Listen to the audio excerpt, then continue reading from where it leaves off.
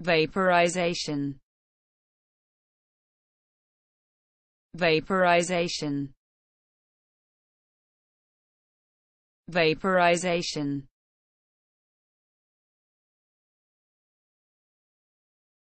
The carbon dioxide laser is the more powerful of the two, used primarily in procedures involving the cutting or vaporization of tissue. Alternatively, the soot might have come from the vaporization of oil deposits at the site of the meteorite impact. In a manner, similar to the vaporization of a liquid, sublimation of a solid may occur over a wide range of temperature.